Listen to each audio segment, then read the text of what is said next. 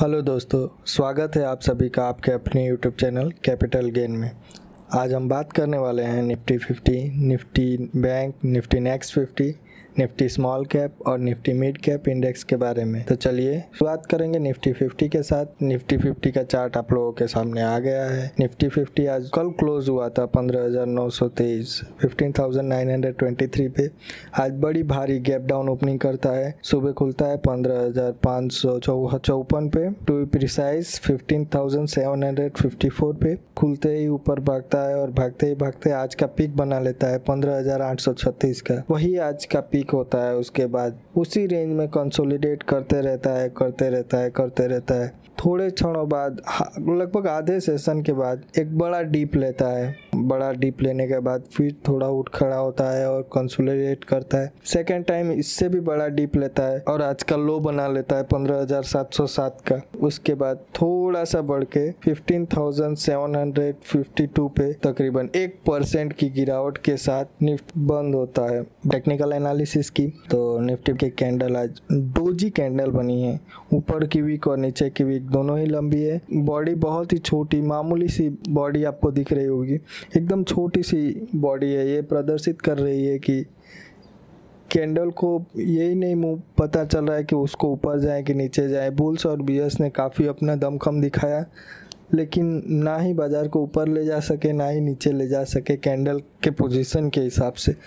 और एक चीज़ और देखने को मिल रही है कैंडल में, काफ़ी गैप डाउन ओपनिंग हुई है, जिसके कारण एक बहुत बड़ा गैप छूटा हुआ है। सुनर और लेटर बाज़ार इस गैप को फील करेगा। ऐसा पिछले भी होते हुए आया है और कई बड़े एडवाइजरों का भी मानना है कि ये गैप फील होता है। आगे देखना होगा क्या होता है। बात करें आर की तो R S I fifty R S I में काफ़ी गिरावट आ गई है। R S I fifty one पे आ गया है। बात करें एम एस सी डी की तो M S C D cross over अभी भी बियरिस चल रहा है और बियरिसनेस बड़ी है। कैंडल लंबी हो गई है। चलिए अब बात करते हैं सबसे ज़्यादा चढ़े हुए, सबसे ज़्यादा बड़े हुए शेयरों की और सबसे ज़्यादा गिरावट वाले शेयरों की निफ्टी फिफ्टी में। आज सबसे ज़्यादा तेज एन का शेयर रहा तकरीबन 1.93 परसेंट की बढ़त के साथ 121.40 रुपीज़ पे बंद हुआ followed by B P C L Divi's lab Nestle India Tata consumer product Britannia and doctor Reddy's lab बात करें सबसे गिरावट वाले शेयरों की तो आज लालियाली ही लालियाली नुमा माहौल रहा। एच ग्रुप के काफ़ी सारे शेयर बहुत ही ज़्यादा गिरे हुए हुए थे। शुरुआत होती है एच बैंक से सबसे ज़्यादा गिरावट 3.37 परसेंट की गिरावट के साथ चौदह पे बंद हुआ followed by H D F C life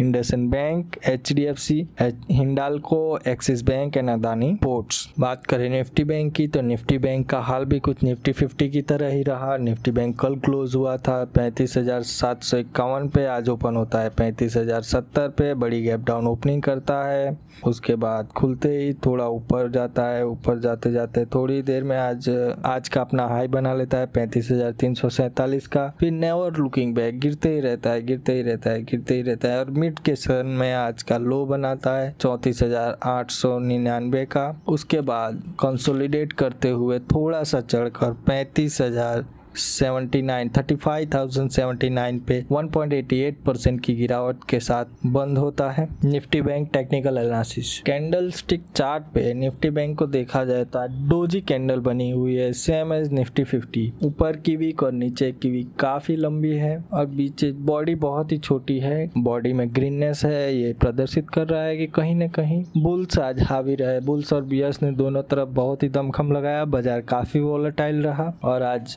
दो आईपीओ की लिस्टिंग भी हुई। कैंडल को देखा जाए। खैर कैंडल को देखा जाए तो कैंडल काफ़ी नीचे बनी हुई है। पिछली कैंडल से काफ़ी बड़ा गैप छोड़ा हुआ है, जो क्योंकि आज निफ्टी बैंक ने गैप डाउन ओपनिंग की थी। सुनर और लेटर ये गैप भरना चाहिए। पिछले कुछ दिनों में भी काफ़ी सारे गैप्स हुए हैं, जो सुनर और लेटर फील होते हैं। तो देखते हैं, अभी आगे देखना होगा कि कब गैप फील होता है। बात करें आरएसआई की तो आर फिफ्टी से नीचे आ गया है। फोर्टी के करीब है आज का आर ये काफ़ी चिंता का माहौल है।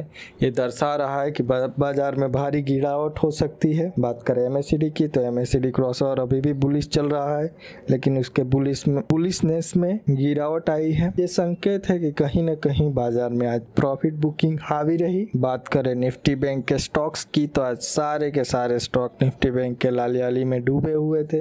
काफ़ी ज़्यादा प्रॉफिट बुकिंग इन स्टॉक्स में देखने को मिली। सबसे ज़्यादा गिरावट बैंक में देखने को मिली। 3.37 परसेंट गिरा हुआ था followed by IndusInd bank I D F C first bank RBL bank federal bank Axis bank small finance bank Kotak Mahindra bank Punjab national ICICI SBI and Bandhan bank चलिए अब बात करते हैं निफ्टी नेक्स्ट फिफ्टी के शेयरों की तो सबसे ज़्यादा बड़ा, सबसे ज़्यादा बढ़त के साथ आज आलकेम लैब में देखने को मिली। 2.91 परसेंट की तेज़ी के साथ 3,448 पर बंद हुआ followed by Apollo hospital L N T infotech H P C L Dabur India Havells India A C C and Ambuja cement सबसे ज़्यादा गिरावट निफ्टी नेक्स्ट फिफ्टी में अदानी ट्रांसमिशन में देखने को मिली। तकरीबन 7.44 परसेंट गिरा हुआ था। 7.44 परसेंट गिर कर 968 पर बंद हुआ followed by Indus tower H D F C M C Adani green, Vedanta, Glenn InterGlobe BBI Piramal enterprises. बात करें निफ्टी मिड कैप इंडेक्स की तो निफ्टी मिड कैप में आज सबसे ज़्यादा तेज पीआई इंडस्ट्रीज़ रहा। 6.36 परसेंट की तेज़ी के साथ 3161 पे बंद हुआ। 3161 पे बंद हुआ followed by Bharat electric, Alkem lab, Apollo hospital, and लेविसिस, Prestige, state वाई क्वेसिस, कॉप, and Tata power.